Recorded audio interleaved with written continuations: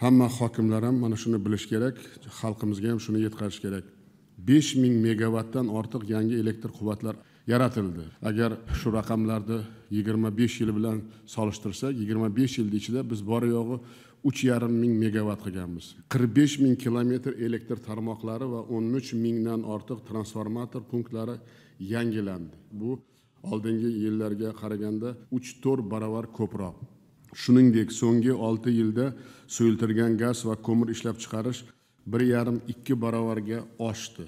Lekin bir hafta bo'lgan sovuqda shtabni boshlig'i bosh vazir birinchi o'rinbosari abdullayev mehriddin farhod abdurahmanov isaqulov mustafayev normurodov eshmurodov viloyat hokimlari tuman shahar hokimlari va sektor rahbarlari pashta ishlamaganini ko'rinib turibdi. Uch to'rt oy oldin qarorda qabul qilgan edimki undaqa issiqlar bundaqa jarayon o'zbekistonda hech qachon kuzatilmagan.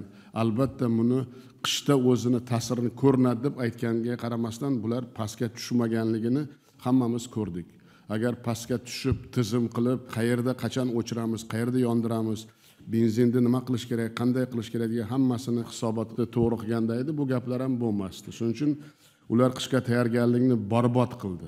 Bu ham haqiqat. Shuning uchun bular bo'yicha ham man ham ko'p narsani o'ylashga majbur bo'laman. Bular mana shu lavozimga munosibmi yo'qmi degan savol albatta ko'ndalang turibdi. Nimaga desangiz agar qaror bo'lmaganda imkoniyat bo'lmaganda sharoit bo'lmaganda boshqa gap edi. Vaholanki ularning tizimida bir yuz o'n besh mingdan ziyod xodimlar bor.